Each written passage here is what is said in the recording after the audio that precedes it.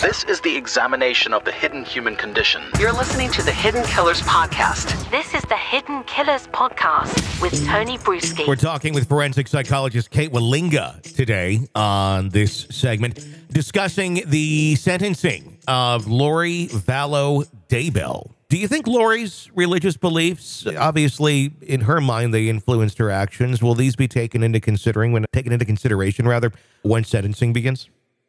No. I think that they'll try that, Yeah. but uh, honestly, that makes it worse. If you're coming from a platform of having these serious religious beliefs, theoretically, that should make you less likely to do things like kill children. Sure. You know what I'm saying? Yeah, you'd think. And uh, like, I don't have the Ten Commandments measure memorized, but I'm pretty sure that would fall under the be a good person Yeah, or do not statute. do not kill Yeah. that's what I'm saying. It's- it's- specifically for it. Yes. it, it, it, and it, it really wouldn't be to her benefit. There's a reason why a lot of convicted felons or inmates find religion after they're incarcerated. And that's because they're looking for a parole date, they're looking for a reconsideration of sentencing. And it works by saying, Look, I've changed. But playing up this idea of, Look, I've been so deeply religious all along. It's my friend, you killed your children. Yeah. That's not.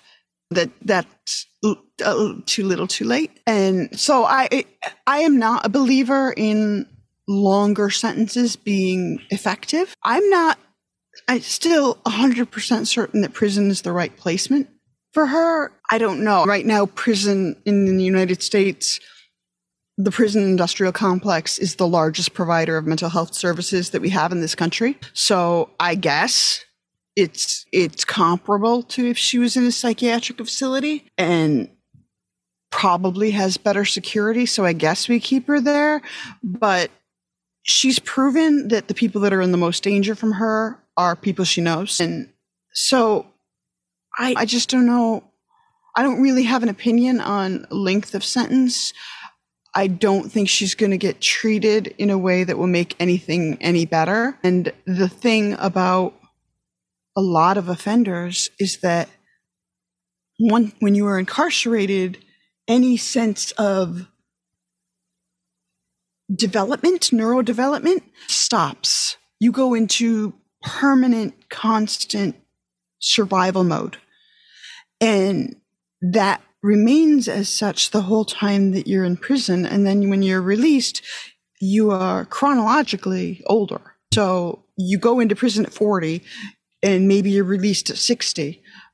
So your driver's license will say that you're 60 years old, but really you're no more developed of a human being than you were at 40. Like you're still, you still are going to act the same way as when you went in.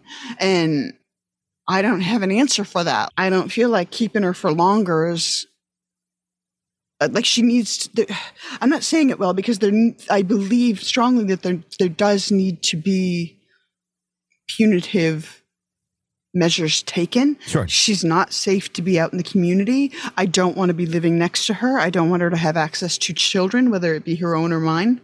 That being said, I don't have a sense of how many years is the right number of years. Is and there- I certainly don't think that claiming now, Yeah. hey, but I'm religious, is going to help her in any way. I- mean, is there a right number of years for something like this, regardless of her belief systems or what she professes to to truly hang her hat on when it comes to religious beliefs? Isn't it just simply, look, you should never be out ever? We're, we're like society. We at some point with individuals just need to say, we're sorry. There's nothing more we can do. You've really you've pushed it too far this time. You can't be out. Being in's not going to do much for you, but you're better being here and just locked away until you finally die, and not necessarily even have to worry so much about. Well, what are we going to do for this this individual? Are, are some people just simply beyond reproach when it comes to any sort of recovery or any sort of mental health assistance? Oh, for sure. Yeah. For sure. But the problem is how do you know who that's going to be until you try? Yeah. You know, that there are cases around the world. Vince Li is one up in Canada. He's the guy who beheaded another bus traveler Okay. decades ago, and he spent a significant amount of time in prison. Karla Homolka is another Canadian case. They did really big bad stuff, and both of them spent a fair, a significant amount of time in prison. Both of them have been released to the community and have not repeated violence. And both of them would arguably, from the American perspective, have been the lock 'em up, throw away the key type. Yeah. But the reality is, they went, they served their time, they got some treatment, and they were observed in the community and they reestablished a life. And so there are people that I believe are not ever going to get better, but there are people that I think surprise us in the sense that, look, I don't want to go hang out with, with Mhm. Vince Li or with Karla Homolka. I don't want to do that. I don't want them to join me for games night or whatever. Yeah.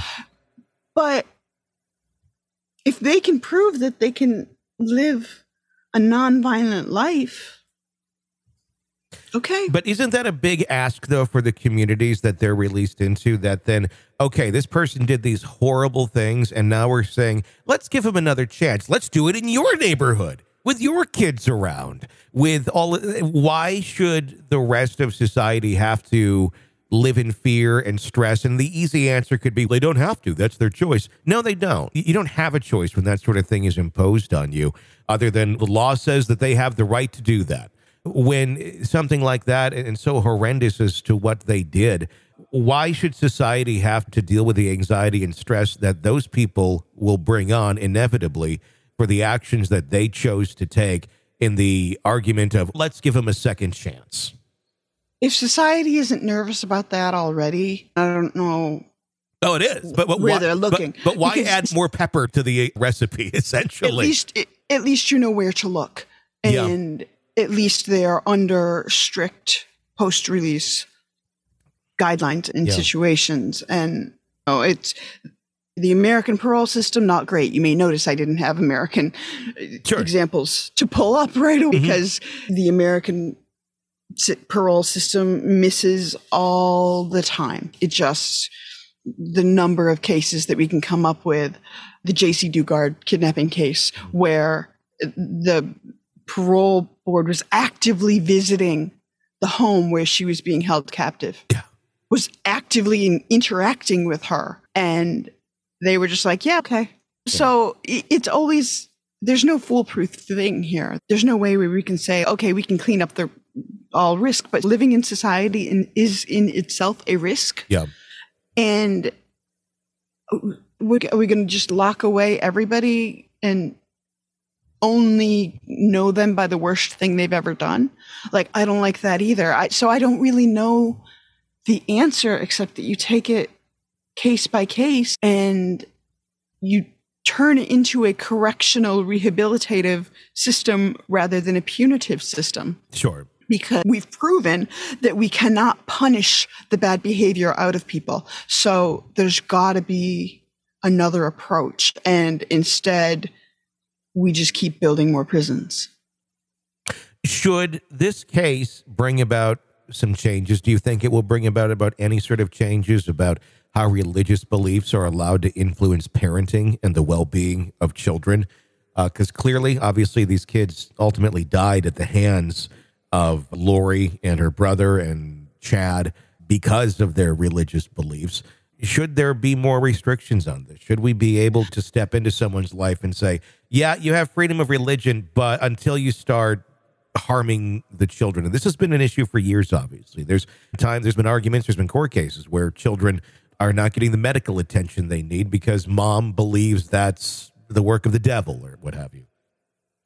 You, th- that's two very different questions. Should it and will it? Yeah, that's true. Yeah. And like for me, please worship how you see fit, but there are limits to how you can treat your child. And I really do struggle. And I have close relatives that fall into that category of we don't seek medical care. Okay.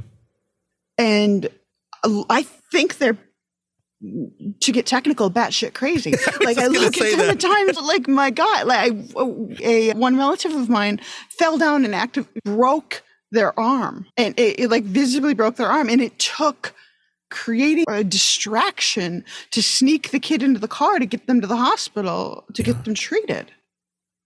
And then there was this huge family blowout because how dare you? And I, rem- I was pretty young at the time, I eight or 10.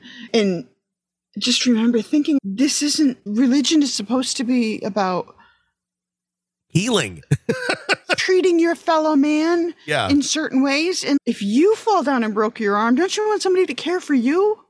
Yeah. And sometimes the answer is no. And so I don't really know the answer yeah. to that, but I do know that children fall in a protective class. And so there is no excuse. Religion, mental illness, substance abuse, there's no excuse for a child to exist in a harmful environment. So sh- should there be changes? Yeah. Totally should. Will there be? I don't know. This is an examination of the hidden human condition. This is the Hidden Killers Podcast with Tony Brueski